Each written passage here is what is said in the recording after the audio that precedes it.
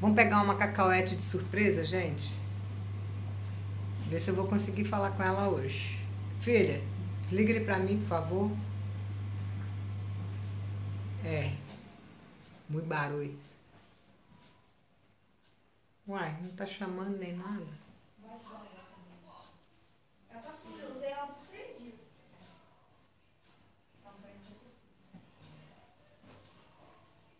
Que estranho. Zero, zero. Olha eu falando o número alto.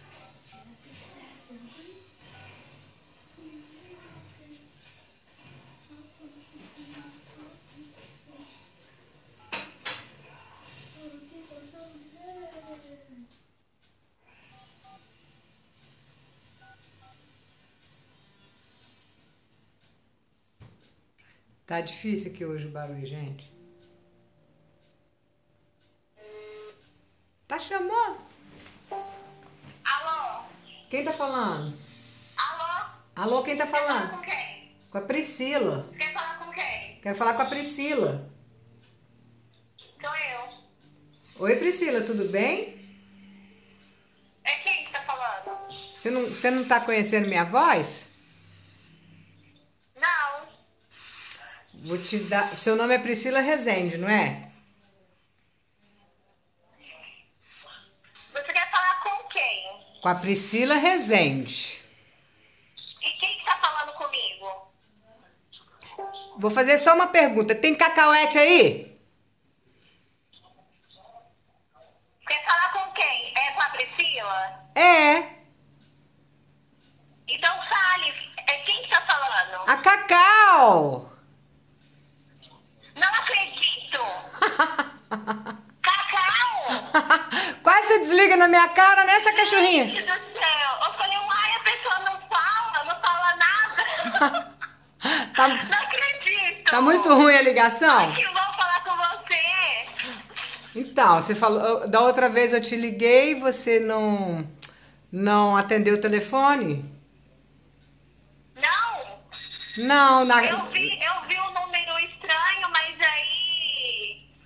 Aí eu fiquei em dúvida se era Eu que- não. Aí eu.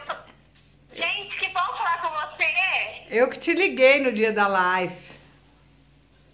Ah, tá. Entendi. Agora eu tô aqui, ó. Tava Tá tendo. fazendo vídeo agora? Tô, nós estamos. Tô gravando. Vou pegar um pão de queijo aqui. Ai, que bom. Eu não consegui. Que bom. Eu não consegui gravar o pão, maçã no pão de queijo. Eu falei assim, vou ligar pra alguém, vou fazer uma surpresa. Ai, que gostoso. Amei a surpresa. Porque eu, eu vi sua mensagem aqui, Legal, Cacau, foi você que me ligou, eu não tava aqui, que não sei o que. Eu falei, nem vou responder, eu vou ligar pra ela separadamente. Ai, que bom, que bom. Amei, amei. Esse número é o seu que tá aqui? É. Ah, tá. Só, Você acha ruim eu, eu- assim, eu adicionar você? claro que não, desde que você não se incomode, porque eu não tenho tempo pra a- bater muito papo no WhatsApp, não. Imagina, imagina. O dia porque eu e meu marido for, assim, aí eu te aviso o dia se der certo. Tá bom então. Tá, Vou ficar aí. esperando você aqui então. Tá bom. A ligação tá falhando. É, tá falhando, né? Por isso que eu também não gosto muito de ligar. Fica falhando. Entendi. Tá jóia então, Cacau. Então tá bom, meu amor. Amei a ligação, viu? Feliz final de semana pra você, tá? Obrigada pra você também, pra todos aí. Tchau, querida. Um beijo. Tchau. Outro. Comi pão de queijo. Gente, ela ficou tão triste quando eu liguei na, na live pra galera e ela não não tava em casa, ela tava viajando. Que aí eu resolvi ligar agora. Ó, pão de queijo tá pronto. Não teve jeito de gravar o maçã no pão de queijo, né? Vocês, o, o bofe de vocês também faz pirraça, gente? De vez em quando o meu tá numa pirraci, numa pirracice. Tá, começou a ouvir música bem na hora que eu ia gravar em volume alto, não tinha jeito. Hum. Mas tudo bem. Vamos aproveitar que nós estamos aqui e vamos lá na, na postagem que alguns de vocês fizeram perguntinhas, só não vou poder responder todo mundo, tá? Não maçamos pão de queijo junto, mas vamos comer pão de queijo junto. Hum. Deixa eu procurar aqui. Peguei meu óculos, né? Vamos lá.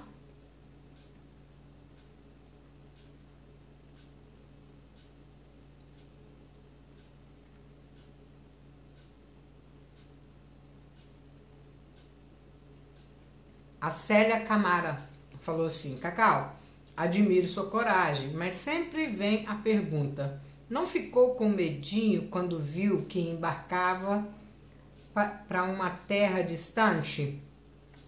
Não, Célia, você acredita que eu não tive medo nenhum? Tô de pijama, viu, gente? Nunca tive medo. A única coisa que deu um pouquinho de medo foi quando eu cheguei aqui que eu acho eu a língua alemão, né? Eu pensei que eu nunca na minha vida fosse aprender essa língua. Mas eu juro por Deus que na, quando eu cheguei aqui, eu, eu, eu inclusive falei para algumas pessoas: essa língua eu nunca aprendo. E olha que eu tinha, porque eu sempre tive talento para aprender língua diferente. Eu já cheguei aqui falando um pouco de italiano, um pouco de inglês, mas aprende, né? Um beijo, meu amor. Gente, vou falar, vou responder só o pessoal que fez texto curtinho, tá? Ai, desculpa! A Georgia Benz. Vou perguntar de novo. Quando vem passear na Flórida? Beijo, meu amor. Beijo, meu amor. Eu pretendo ir no ano que vem, né? Eu era para ter ido ano passado, eu não fui porque meu passaporte estava vencido. E agora eu renovei meu, meu passaporte e pretendo ir agora em 2017, com a graça de Deus. O futuro a Deus pertence, né? Pretender, eu pretendo, tá? Um beijo. Com certeza eu vou te ver, meu amor, porque a Flórida é o meu foco, assim.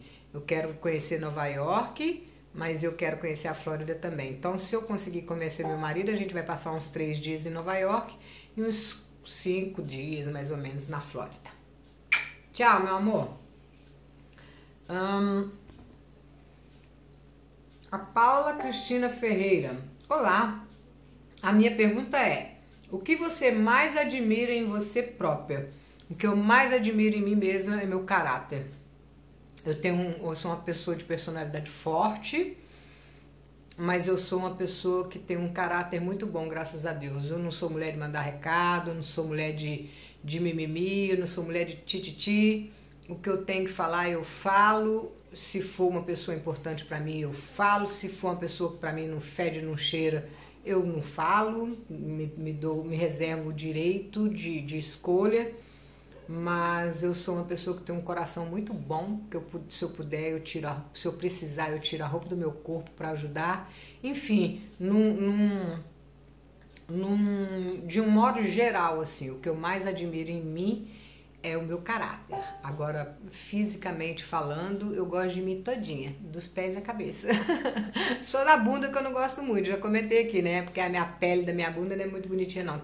Dá umas espinhas que me enche o saco. Mas do, do corpo eu gosto de tudo. a Priscila Rezende, que foi quem eu liguei agora, perguntou assim: Cacau, como e quando descobri o momento certo de ser mãe? Não sou mãe ainda, mas tenho um desejo enorme de ser. Ô Priscila, que perguntinha difícil a sua, né? Eu tive três filhos e todos três vieram assim no susto, né? Acidentalmente. Não teve nenhum dos meus três filhos foi planejado. É, hoje do jeito que eu, que eu vejo o que, é ser mãe hoje, se, se eu pudesse voltar atrás e, e, escolher um outro caminho, ser ou não ser mãe, eu não eu optaria por não ser. Se eu pudesse, se eu soubesse que se tivesse como eu saber como que é, eu juro que eu não não, ser, não seria mãe, não teria tido filhos. Não porque eu não amo meus filhos, é óbvio, óbvio que eu amo os meus filhos, é óbvio que eu dou a minha própria vida por eles. Mas é porque não, não é fácil, pelo menos para mim, assim, não é fácil.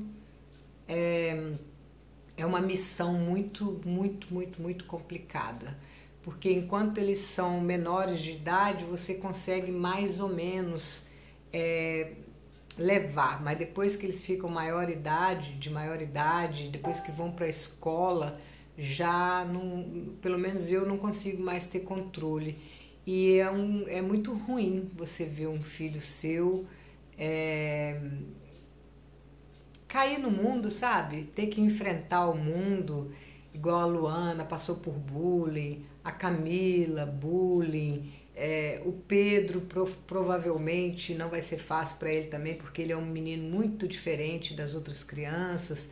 Então ele é nerdzinho, né? Ele já até passa por algumas, algumas confusões na escola de vez em quando. Mas enfim, eu não sei qual é o momento certo. Talvez, se é que existe um momento certo, eu não acredito que exista um momento certo.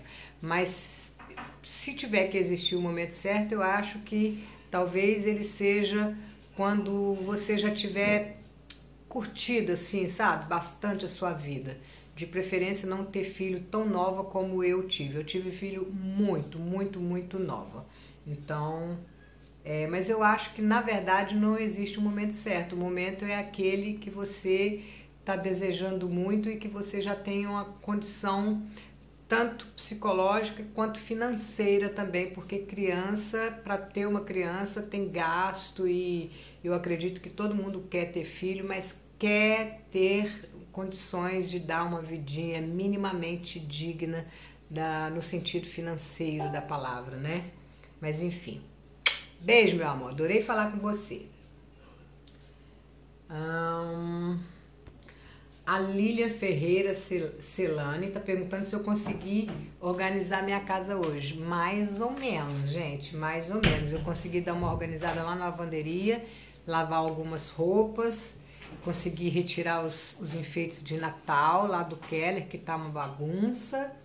Mas quando tá todo mundo em casa assim é muito complicado de organizar a casa toda. Beijo. Ó, mais uma pergunta bem difícil aqui, ó, da Assíntota Valente. Cacau, o que fazer se a esposa nunca teve Natal por motivos religiosos e tem desejo de fazer, mas o marido não gosta? Nossa, que situação, né, gente? É por isso que eu acho que eu já até comentei em, em um, algum outro vídeo que esse, eh, casamento é uma coisa muito muito séria. Antes de casar, a gente tem que, tem que colocar muita coisa na ponta do lápis, sabe? Tem que colocar muitos pingos em cima dos is, como por exemplo esse negócio de religião, né? A sua ser uma e a dele ser outra. Eu lembro que a minha falecida cunhada Ângela discutia muito com meu irmão sobre esse negócio de transfusão de sangue e tal. Ele é testemunho de Jeová, eles não aceitam. O meu irmão, inclusive, poder, poderia ter feito, parece aí, um implante, alguma coisa assim, não aceita porque ele é testemunho de Jeová. E aí, de vez em quando, eu via eles conversando, meio que até, de vez em quando, dava até umas alteradas de voz, porque é diferença de religião. Ela era católica, ele é testemunho de Jeová, enfim. Ai, amor, você me apertou sem me abraçar. Conversa com seu marido, dependendo de, de, qual, de qual for, né? Ah, se ele não for muito habitolado, quem sabe? Muito complicado, muito complicado. Eu acho que só conversa mesmo, só sentando e conversando e abrindo seu coração, tá? Beijo. A Silvia EB Moraes. Cacau, fala um pouco da família do seu marido. Aliás, qual é o nome dele? Beijo, Flor. Me manda beijo. Beijo, minha querida. Meu marido, em, em português, o nome dele é Roger, tá? E a família do meu marido tem duas pessoas, né? Minha sogra e meu cunhado. Minha, os, meu, meu sogro faleceu, deve ter. Quanto tempo tem, amor, que o vovô morreu? Seis anos? Não sei. Uns seis anos, né? Mais ou menos? Você era pequenininho. Meu, meu sogro deve ter morrido aproximadamente uns seis anos atrás. Ficou só a minha sogra e meu cunhado lá na terra deles, porque eles tiveram só dois filhos, tá? É, a gente se vê a cada dois anos. Minha sogra é super tranquila, não se envolve na nossa vida, não se mete na nossa vida. Quando a gente está lá, conversa alguma coisa ou outra, de vez em quando ela costuma vigiar o dinheiro, né? Mas meu marido já explicou para mim que é porque ela viveu a Segunda Guerra Mundial, teve muito, passou muita necessidade e tal, é por isso que hoje em dia ela preocupa tanto em guardar dinheiro. Mas enfim, não tem muito o que falar da minha família. Ela é alemã, meu sogro era, era alemão, meu cunhado tem a mesma profissão do meu marido, só que trabalha num banco. Nasceram e cresceram ali na região de Lübeck. Tem muito o que falar deles, não. E o nome do meu marido em português seria Roger, tá? Em alemão é Holger. Beijo, querida. A Norma Alessandra tá pedindo para eu responder, para eu falar. Não, peraí. A Rosângela Patrícia Mello tá pedindo, tá perguntando qual queijo eu uso no meu pão de queijo. Espera aí que eu vou mostrar. Olha, eu uso esse aqui, ó, que eu compro lá no Aldi. Ele é assim, ó. Não é queijo ralado, parmesão não, tá? É muito forte. E fica bem macio, ele já até murchou, né? Porque isso aqui fez, tem que comer na hora, ó. Ó o queijinho esticadinho aí, ó. Uma delícia. Parmesão fica muito forte, muito salgado. A Norma Alessandra, Cacau, você tem alguma receitinha para clarear pescoço? Se tiver, ensina, por favor. Norma Alessandra, todas as minhas receitas para clarear a pele que eu mostro para vocês é para clarear qualquer área do rosto, tá? Não tem essa receita que é para clarear o rosto, para clarear o pescoço, pra... é a mesma receita para o corpo todo, meu amor. Beijo, tem várias no canal. E a última perguntinha, tá, gente? Hoje eu passei aqui só para matar a saudade, para estar aqui um pouquinho com vocês mesmo, porque eu sou viciada, mas não quero ficar muito tempo, porque senão o vídeo fica longo, eu não consigo postar hoje ainda. A Ticiane Martins. Cacau, gosto muito dos seus vídeos. É um prazer te ouvir. Acalma a alma e me faz bem. Obrigada. Perguntinha: você prefere mais doce ou salgado? Gente, eu prefiro salgado, mas eu confesso que eu sou viciadinha num chocolatinho, tá? Eu sou chocolatra. Eu já contei isso aqui várias vezes em outros vídeos, tá? Mas eu prefiro salgado, com certeza aqui, ó. Prefiro um pãozinho de queijo. Só não me coloque um pão de queijo numa mão e uma bolacha da ovo maltine na outra, que eu vou pegar a bolacha da ovo maltine, porque eu sou viciada, tá? Então, ó, vou ficar por aqui com o nosso videozinho que já tá quase dando 20 minutos. Espero muito que tenha sido gostoso mais uma vez para você estar aqui um pouquinho comigo, um videozinho meio que sem pé, sem cabeça, mas só para estar tá aqui um pouquinho com vocês, tô com a cara limpa aí, tá, gente? Ignorem a luz da cozinha mas é assim, vida real, eu gosto de estar com vocês, independente de estar arrumada ou não. Beijo da Cacau, fiquem todos com Deus e até o próximo vídeo. Um final de semana maravilhoso para todos nós. E massar o nosso pão de queijo fica para a próxima. Tá vendo por que, que eu não tenho gravado mais finais de semana? É complicado, é complicado, não é fácil não, tá? Beijo, meus amores.